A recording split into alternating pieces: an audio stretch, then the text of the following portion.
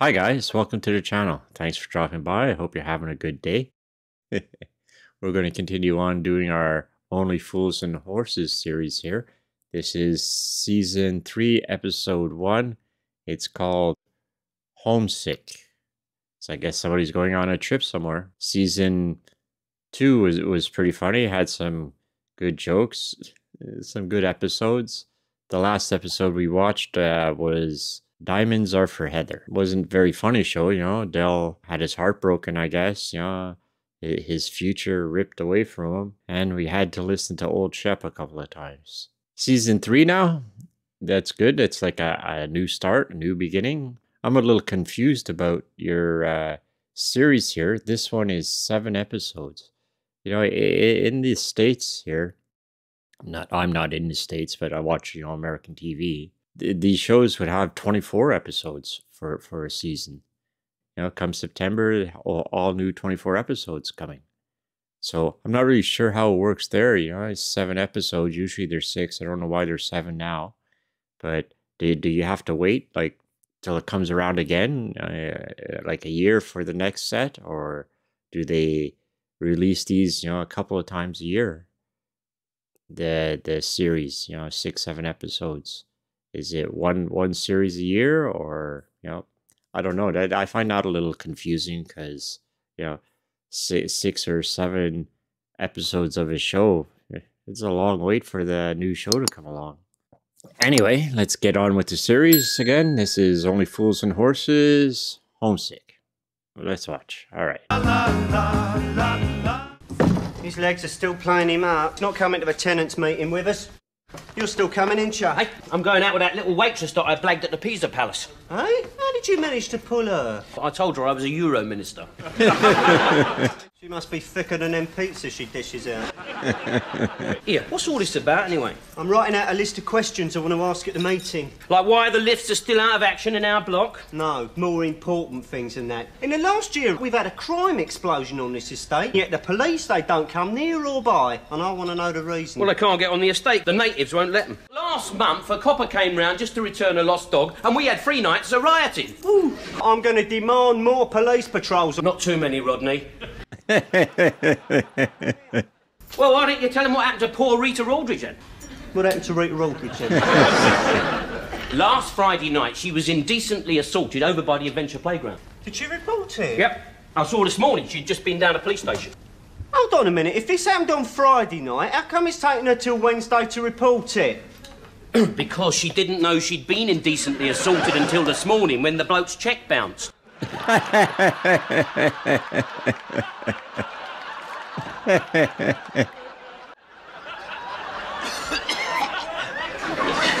no smoking. How you going, Dave? How's your granddad? Oh, his legs was playing him up. Yeah, worse. Most probably just a touch of fibrositis, you know. That's how my nan started off. Did you ever meet my nan? Well, only at her funeral. her funeral, aren't you, Dave? My name's not Dave. My name's Rodney. You sure? Yeah, I'm positive. I've looked it up on my birth certificate and my passport and everything. It is definitely Rodney. Oh, well, you live and learn. Basil, are you going to get this meeting started? Me and Dave ain't got all night. yeah, yeah. Can't start the meeting without the vice chairman in attendance. Well, how long's he going to be? Ooh, he died a fortnight ago. died? You need a new vice chairman? Well, if it'll help you out any, Baz, I'll nominate Rodney. What? Right, seconded. now, hang on a minute. Nomination accepted. Welcome aboard, sir. I don't want to be vice chairman. Oh, well, I suppose Del Boy was right all along. Well, you always said you was too immature to accept responsibility. Oh, did he? Where do I sit, Baz? Right. Now, the first item on the agenda is my resignation. Going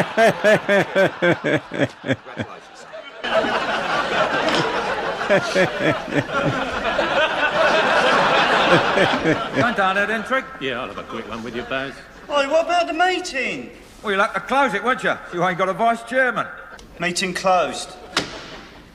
We've done that well, didn't he, Trig?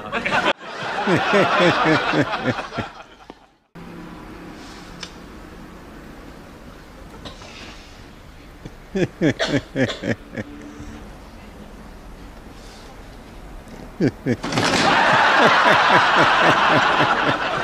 they're lovely. Three for 25p, they're lovely. They're juicy, they're full of vitamin C. Suck one of these a day, you'll never catch scurvy. What do you want, three, darling? There you go, 25p. God bless you, love. Look after yourself. Come on, girls, the finest Spanish oranges just in from Seville. Thank you very much. God bless you, my love. Come on, where the ruddy hell have you been, eh? You know where I've been. I told you I had to go down to town hall. That was four hours ago. Oh, yeah, sorry. Well, but you know, I got a bit involved with council business. Oh, did you? Yeah. Well, of course, I got a bit involved myself here, you know, with silly little things like trying to organise us some profit. So I had to go down and introduce myself to Miss Mackenzie. Oh, who's Miss Mackenzie? She's a very important lady, hmm. and she was very impressed with me. What do you want, three? She's very intelligent, actually. We got on really well. Yeah, well, they do say that opposites attract, don't they? Come on, you. Get these crates sorted out, will you? What? Oh, come on, Del. You want any wages tomorrow? Where shall I put them? Don't tempt me, Rodney. Don't tempt. Oh, there's Grandad. All right, dear boy. Oh, hello, Grandad. What are you doing here, eh? I've just been getting something in for dinner. Yeah? What have I got, Grandad? You got adult pie. Terrific. Oh, how's your legs? Still hurting. Look, if you want to hang on, I'll give you a lift back in the van. No, that's all right, Rodney. See you later. Yeah, see ya. No, that's all right. That's all in hand. I'm going to sack him one of these days, I will. Hang about. Del. Oh, my God! Grandad! Grandad! What's the matter with him? Well, how the hell do I know? Del, the brandy. Yeah. No, he ain't been at this. Oh. Shall I give him the kiss of life? I ain't that bad. Thank God for that. You're alive. I just got up to switch over to Crossroads. And what happened? I don't know. I didn't see the end of it. What happened to you? Me legs give way. Them stairs will be the death of me. Look, I'll put him in the bedroom. You phone for the doctor, Rodney. Right. Hello, Dr. Becker. Look, sorry to bother you, but it's my granddad. He's not very well. Yeah, my name is Trotter. Oh, you remember? Has what cleared up? No, I, I never heard anything like that. You must be getting me mixed up with somebody else. Well, is he coming round? Yeah, well, could you come round straight away, please? You're going out to dinner. Give us that, will you? Hello, Doctor. We've got a mutual friend. Her name is Rita Aldridge. And I happen to talk to your good lady wife every day in the market. Right. It's on his way round. I want you to make sure that he gets plenty of sleep and lots of fresh air. Fresh air. Haven't you noticed all the juggernauts and buses smoking away past this place? Well, there isn't very much I can do about the pollution problem. Well, I know, I know. I'm sorry. I'm sorry, Doctor. What about his legs? Oh, don't worry. He's got legs like Nijinsky. Nijinsky's a racehorse. no, Del, he means Nijinsky, the Russian ballet dancer. I don't. Oh, um, well, what's, what's the matter with him then, Doctor? Exhaustion! Now, what he needs is ground floor accommodation. Have you seen any of those new council bungalows in Harrington Road? Oh, yeah, them. They're lovely, aren't they? Still, what chance do we stand? I could uh, write a letter to the council recommending you be moved. Hmm. You did that for my mum back in 1962, and they moved us here. Shopping all Well, the only other thing that would hold a lot of sway would be support from the chairman of the Tenants Association. Now, who is the chairman of the association these days? It's me. What? Hmm? All right. Good boy.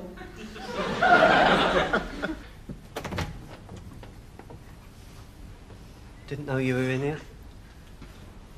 What you got there? Oh, it's just some fruit. Did you get got him some grapes, have you? No, they're oranges. Orange. Oranges? I couldn't think of what else to get him. Look, Del, you know I'd like to help. Your granddad'd have a suck at that. How you could do this to your own flesh and blood, I've got no idea. I mean, I've only been chairman of the association for two days and already I'm into it for a new bungalow. I'm not concerned with. It's only concerned with Grandad. I mean, his brain went years ago. now his legs are gone. There's only the middle bit of him left. Still here, Del boy. Yes, I'm here, Grandad. It's all right. Don't worry. Look, Rodney's brought you some oranges. I'll put them over there, shall I, with the other 3,000? Rodney, put your hand under my pillow. Well, what's under there? Just something what was left to me by my granddad. What is it? It's my granddad's old cigarette case. What's this big dent? See, one night, my granddad was on sentry duty, and suddenly a sniper fired at him. The bullet was aiming straight for my granddad's heart, and the bullet hit that instead. It saved his life. Well, not really. The bullet ricocheted up his nose and blew his brains out.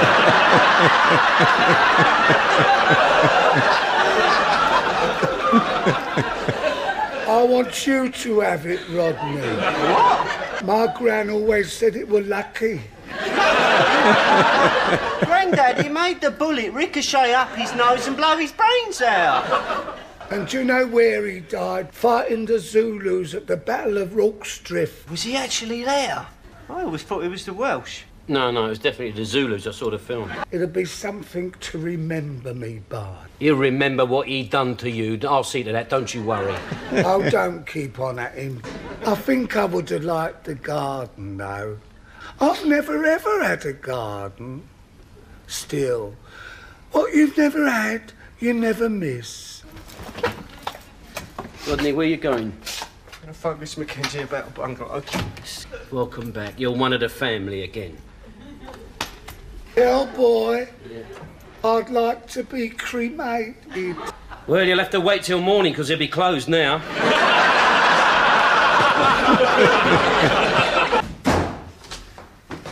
The oranges everywhere. That old biddy from the council will be here in a minute. Del, I'd like you to meet Miss Mackenzie. Good evening.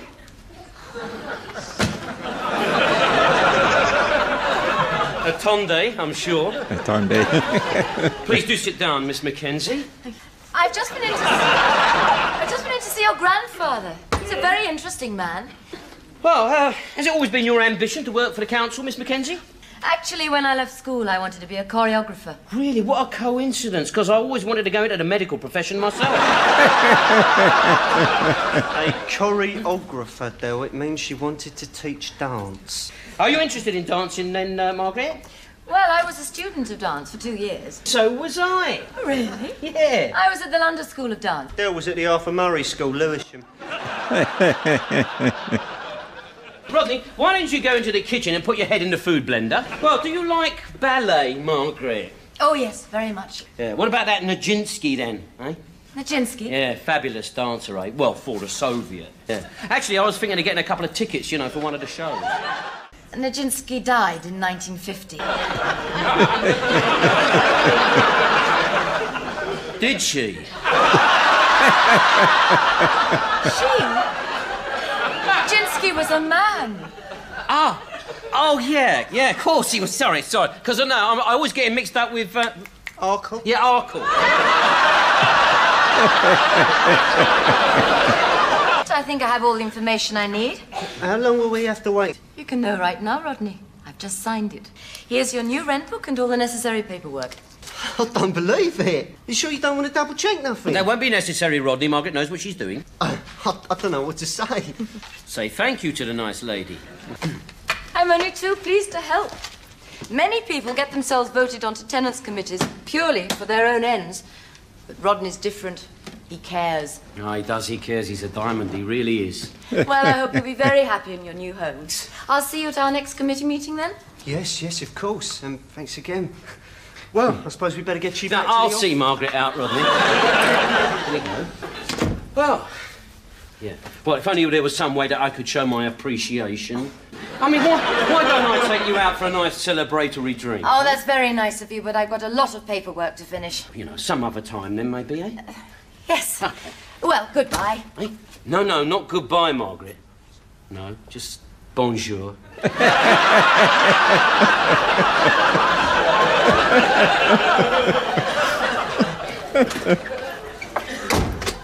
Well, we've done it. Now that is a power of being a chairman, Del. Leave it out. It was my chat what did it. Have we got it, Del? Yeah, of course we got it, Grandad. Look, we move in next week. Ah! Hey, my old man said, dilly dally on the way.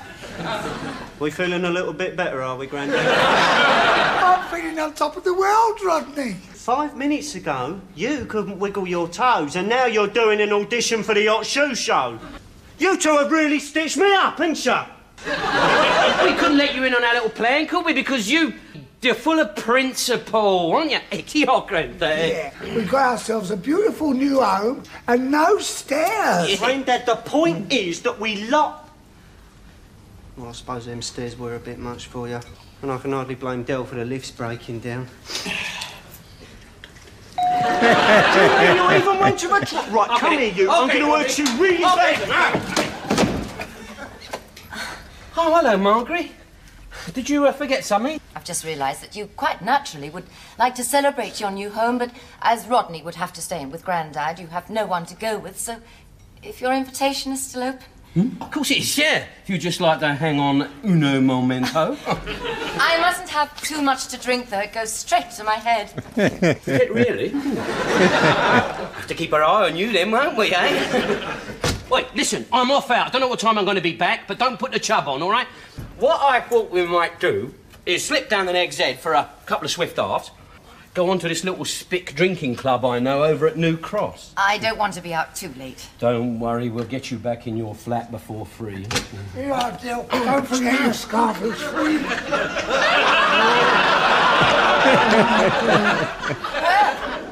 Hello again. He seems to be over the worst. Yeah, well, you know, it comes and goes. Collapse. What? Collapse. I shouldn't bother. Oi, you're going to need the keys if you. I believed you. I believe me. I assume you'll be resigning, Mr. Chairman. First thing in the morning, yeah. I'm going to do you all yet another favour. I'm going to save you the inconvenience of moving.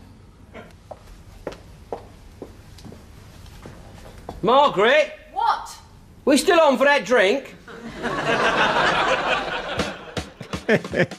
So that was season three, episode one, Homesick. Well, that was a big con all the way through. You know, they conned Rodney, uh, breaking breaking the elevator, and you think Trigger was in on it? Maybe it seems strange to me that Trigger would be at their uh, their meeting. He's got his own house. Why was he there? So that seems a little strange. Finally remembered Rodney's name, but it wasn't at the best time. I don't know where they got all the oranges from. They never really said that, eh? but oranges everywhere. Grandpa, Del, they they just you know tricked Rodney, got him feeling bad, and lost his job as chairman. And it wasn't a good show for Rodney. I mean, I'd be very upset. You know, that woman thinks she he was in on it when he actually wasn't. So she figures he was lying when he was actually being sincere. So anyway, thanks for watching. We'll see you on the next one. Be sure to like the video and subscribe to the channel. And have a nice day.